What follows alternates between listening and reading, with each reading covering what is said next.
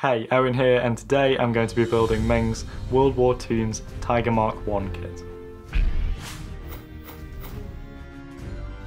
Studio Roqovan provided me with this kit for free, however they have not paid me or told me what to do or say. Before starting, I washed all the parts in warm soapy water with a splash of vinegar. The wheels all have little plastic washers inside, allowing them to rotate freely. I repeated the same process for both sets of wheels. The lower hull parts all snap together cleanly and easily. I found it easiest to push on the overlapping wheels all at once, like so.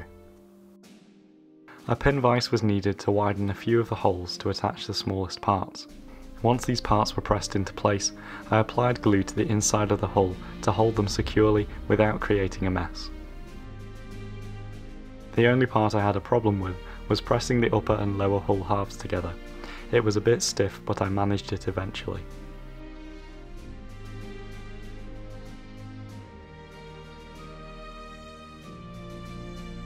The fit of the gun mantlet to the hinged part was a bit loose and required some glue to hold it in place securely.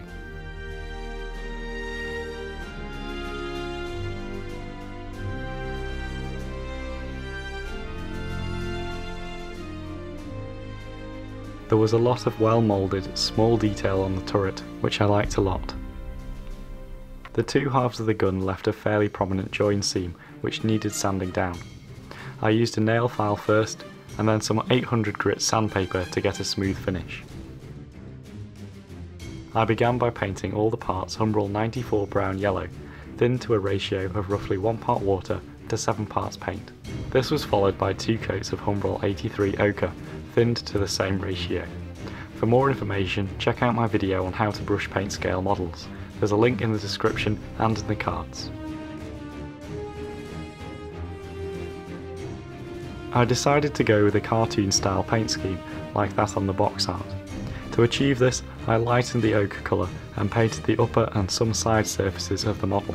I made no attempt to blend the two colours as I wanted it to look brush painted.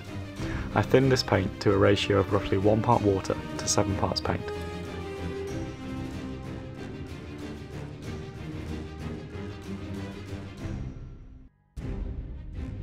The ochre colour was lightened further and applied to the upper surfaces and some edges of the model to create highlights. I thinned this paint again to a ratio of roughly 1 part water to 7 parts paint.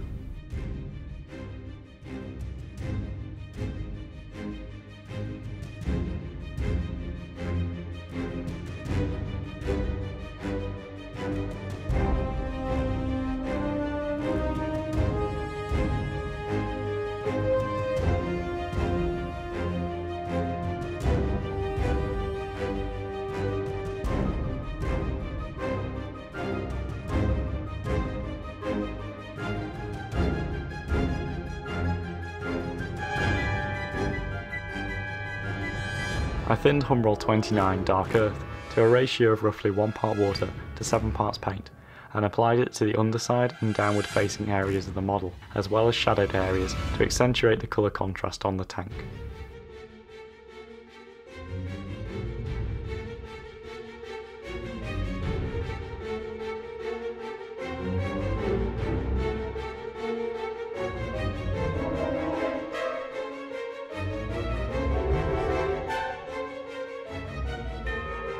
Tyres were painted with a dark grey mixture and were held in place on a piece of cardboard with Blu Tack or Plasti-Tak to make handling them easier.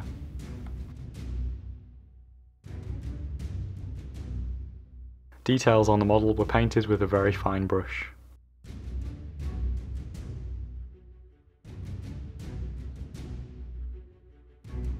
I applied watered down PVA glue to the areas where the decals would go as the semi-gloss finish it leaves prevents the decals from silvering.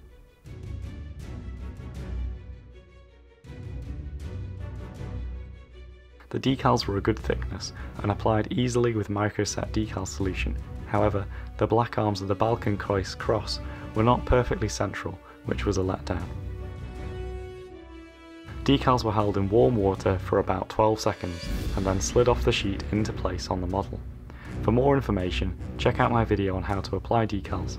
There's a link in the description and in the cards. After a coat of matte varnish to seal the decals, the tracks were attached, and with that the model was complete. So overall this is a really cool cartoonified tank kit. It was so fun to build because all the parts just went together really easily because it was so well moulded. The decals unfortunately had the cross which was misaligned, that kind of let it down a bit, but that was the only negative about the whole kit, which is good. I found painting it a really enjoyable challenge, trying to get that cartoonified look with the contrast between the colours, and I'm really pleased with how it came out. You may have noticed that I didn't paint the tracks, that's because they rotate and I thought that the paint would just come off them if I put it on.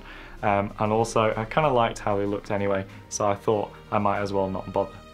I'd recommend this kit to anyone because it's a fun little weekend project that you can do over a day, a couple of hours, and in the end you end up with a cool looking ornament that was really fun to build.